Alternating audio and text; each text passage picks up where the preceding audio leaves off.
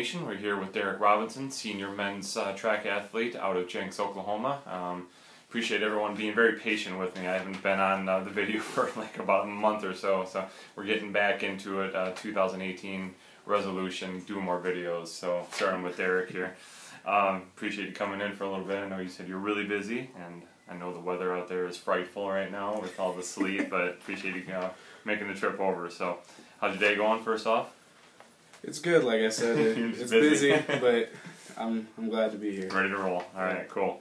Well, he has picked out his Statesmen 16. He's ready to uh, to go in a little bit on this, but first off, we're going to talk talk track. Um, you guys have a meet under your belt. Um, your senior year, so obviously you know a lot of uh, expectations. I'm sure you set for yourself, etc. Goals, but right out the gate, uh, qualified for nationals in the weight throw. Um, talk about that first meet, and uh, then we can talk a little bit more about the season. Well, um, the fir- the first meet was. I, it was it was shocking. I, I didn't expect I expected to qualify in weight. Yeah. But I didn't expect to do it as easily as I did. I, I did it pretty easily and I was very consistent with it. But I was actually very shocked at how well I threw how well I threw the shot put. Right. I'm I'm actually very close to qualifying in shot put, and that was not a goal right. that I had at, at all. So there you go. There you go. Um, with uh, being an understudy, as we'll call it, to uh, to Derek Seddon over the last few years. Um, you know, national champion. I know discus isn't isn't your event like it is his, but you guys, you know, would do all the same same thing. So, I guess um, first first off, talk about I guess what you possibly learned from him and you know what it's like now to be really the big dog now in the, in the throwing area. Um, well, just to just to give a little recap of last year, just one of the inside jokes of of being a thrower at William Penn was I was the I was the A standard, and he was the triple A standard, right? because he he qualified A standard in three events, yeah. and I happened to qualify in in one. So that has been has been the story so far of right. my track career. But it's it was fun throwing with Derek because I never had any pressure. Yeah. As as an athlete here, I never I never had to go into a meet thinking, okay, mm-hmm. I have to win this. I right. always always went into a meet thinking, okay, I got to score some points and right. maybe get close to Derek. That, right. That was it. So, um, this year it I I was assuming it was going to be very stressful. Mm-hmm. Um, obviously, because I don't have someone to hide. I don't have someone to hide under. Derek said it was very very easy to hide under. Yeah, sure. Um, but this year, especially that first meet, I didn't have anybody to hide under, and I actually wasn't as stressed as I thought I was going to be. So yeah, I mean that's you know when you're now, like I said, top dog. Everybody's expecting the biggest things out of you. Not to say that you know there aren't other people that could that could step up and take some of that uh, that you know load off your back, but in the end, you're the senior thrower and you've been to nationals, so yeah, there's going to be some expectations. Um, I guess have you had some conversations with Coach Friesen on that end and saying, you know, has he has he helped you with that, or has it been kind of you're kind of figuring out as you're going here? Uh, it it it has been more of just a uh, an assumed role, right? As less of a communication thing. I I knew going into this that I would be the guy, and I knew um, last year with Derek here, I was still kind of I was a I was a a sub leader yeah, sort yeah, of yeah definitely upperclassman so yeah sure. I've I've been it's been just an easy transition. Friesen really hasn't had to say anything. I've kind of just uh, taken on that role. Right. Um, I mean, you guys are all individually. You're not, you know, you can't. It's not like you're adding your throw on top of somebody else's throw on top of somebody else's throw to get this team score type thing how is uh, you know being a leader in I mean, you've also played football here, and being a leader in track different than being a leader in another sport. totally different, obviously. Yeah, it's it's a it's a different mindset. You you have to be you have to be outspoken. Right. You have to be encouraging. You have to talk to your other athletes. Whereas in football or other other team sports of that caliber, you you can perform and you can do well, but it's it's more it's more of a uh, encouraging others and telling others like hey do this hey like maybe a technique thing like it's it's more of like a helping coach and helping see what you see in an individual sport Right. versus like in in a team sport you just you just do it and you can do it and people just follow you because you're doing something Yeah. so Yeah. Yeah, and obviously there is that component too of being a leader just by action, but Mhm. so much more on on the verbal side of it as well. Um, you guys, you to take that big long break off. I mean, you guys competed about a month ago, um, back into action next weekend, correct? uh, this week This week, Yeah. sorry. Yeah, I'm getting my my dates all mixed up. But what's that like? You know, taking with any sport, you guys have that month long break there normally. But um, feel like you're ready. You didn't you didn't waste that last month. You're continuing to roll. You set the right example, right, Derek? um it i it's i lifted i Yeah. i worked out i i spent time over break but it's hard with with track or at least with throwing because Yeah, You you, need can't the just always. facilities. Yeah, you, You have need the facilities. You're implements. right. Yeah, yeah. and so I we've all taken a month off, and Yeah. this week has been has been a little rough with practice. We're not um, obviously we're still kind of throwing as well as Yeah. we were, but it's it's not up to. We we were doing really Yeah. well before that first meet. Yeah. So.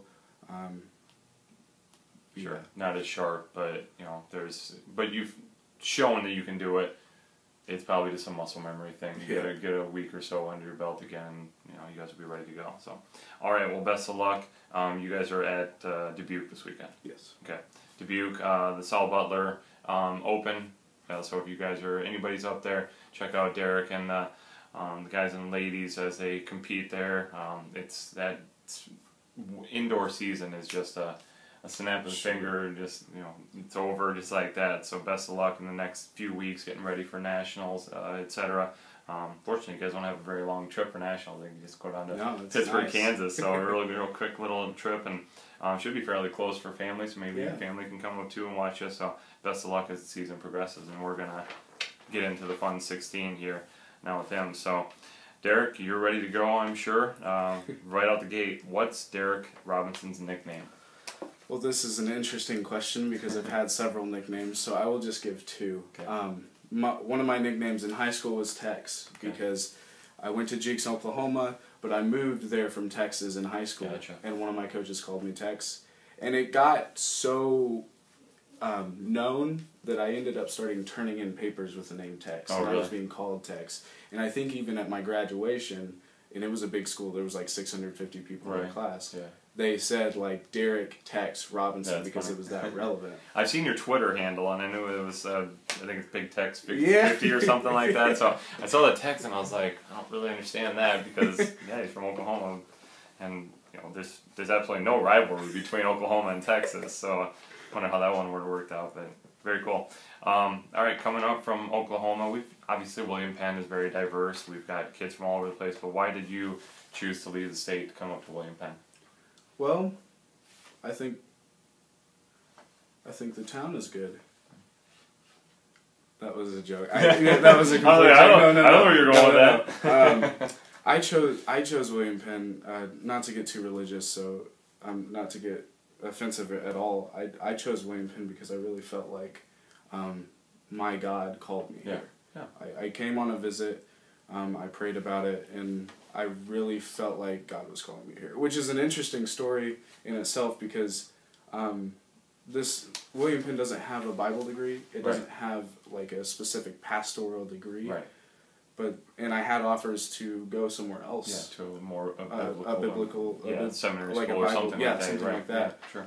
But I really felt like God called me here, and that's Well, there you go. Good job heeding his advice. we, we appreciate that and how, that, how this has worked out the last few years. All right. Um, what's your favorite restaurant? okay. So there's this restaurant called Raising Cane's. Oh, I've heard of it. Okay. Yeah, and it is a chicken. I just received a text today it's coming to from my wife. It is coming to Des Moines, I know. I guys. saw- I saw it this, yesterday. This is a big deal. This is this is I I have dreamed about having a Raising Cane's in this area. Like I grew up in Tulsa, we had a Raising Cane's. I it's good. It's, It, it it's- must be. it's Somebody posted about it yesterday. I read, and they said, "Oh my gosh, this is ridiculous." And I was like, "I feel like I may have heard of it, but either way, I, I'm hoping it opens soon. Oh, I don't yeah. know. I guess what your future holds for being in Iowa in this area, but Uh, hopefully, it opens before you leave Oskaloosa. So either way, um, we're excited. Raising Cane's, West Des Moines. Um, so either way, um, all right. If you were not playing uh, or not doing uh, track and field, you know, throwing, and everything, you've obviously also done football. What other sport outside of those two? I'm not going to let you have football either. But what other sport would you like to play? I this is this is a different sport. This is probably a different answer. I would love to be in like an esports Okay. category. So doing doing some kind of online competitive sporting event. It's growing. Uh, and it's growing big time. Yeah, it is crazy big growing. time. I would love to be an esports guy. There's been a lot of talk on campus about that, about possibly adding that. Would be after your your time here, but it, could happen. And um, fortunately, selfishly, it's not going to be housed under athletics, so I don't, I don't have to worry about trying to find a, a way to write a release on somebody winning Call of Duty. So uh, however that works, yeah, exactly. but yeah. Uh, Hey, you're a millennial. I get that. You, you want to play games, so. All right. Um, what's some advice you'd give to a junior high, high school athlete preparing to wanting to go to, to college? What do they need? What, what do they need to know?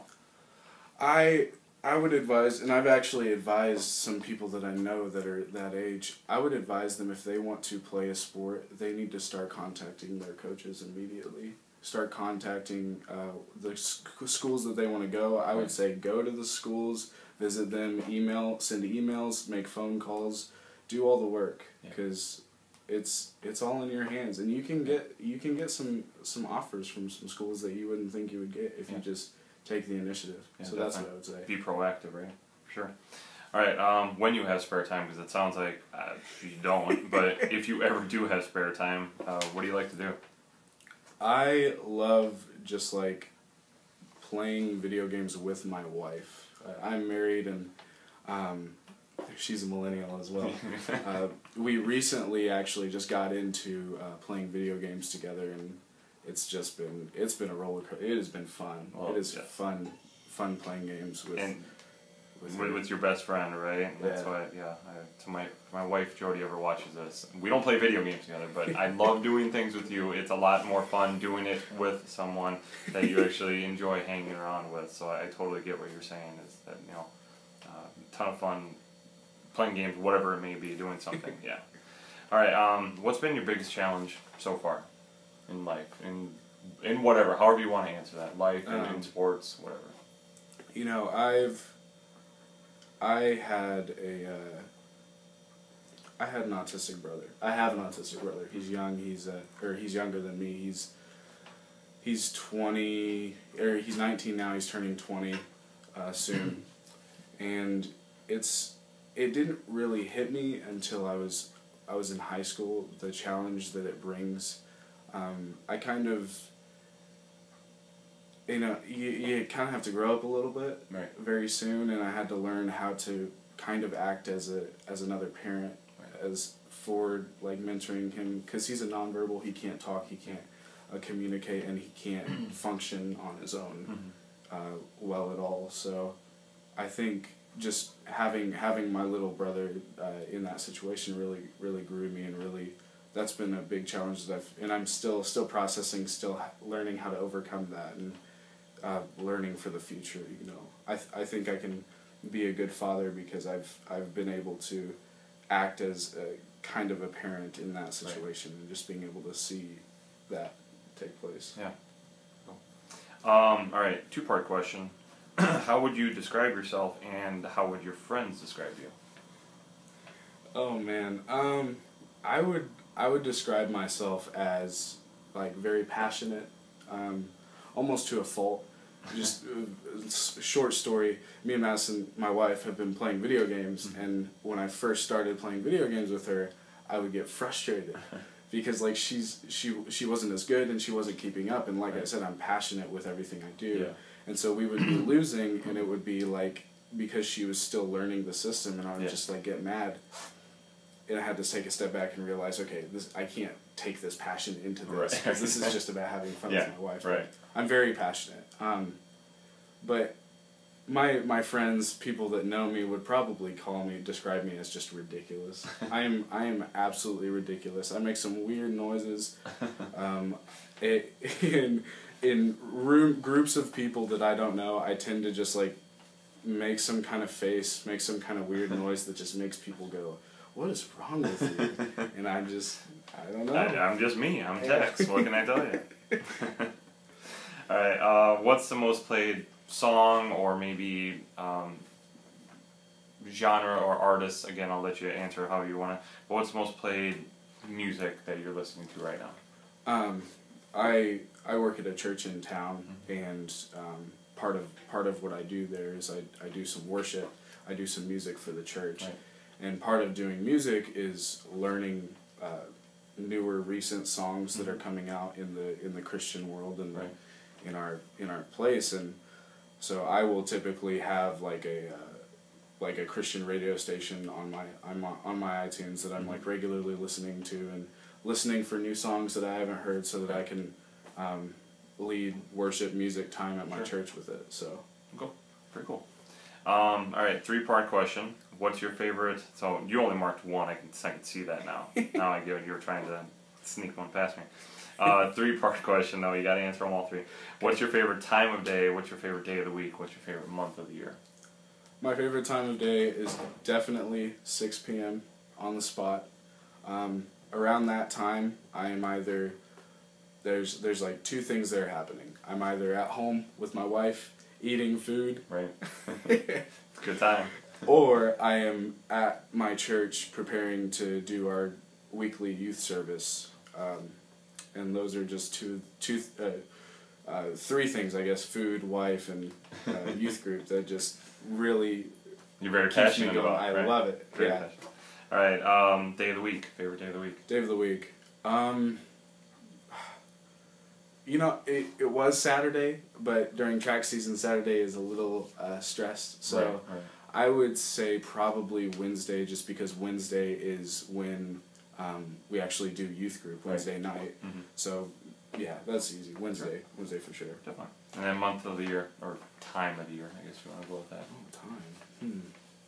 Season, whatever. How do you want to. Huh. I. I, it just depends on where I'm at. In Iowa, I I like summer, and I don't like winter. But in like Yeah, well, you're from Oklahoma. I get that. In I that where Oklahoma, it's warmer. So yeah. I like winter. sure. Like I don't know. It's just something about seasons, something about the uh, bitter cold and the. You like you like warmer weather. Yeah. And You can be honest. You're you're from you're from the south of the Mason Dixon line. You can admit that you like warmer weather. It's okay. Nobody will hold it against you.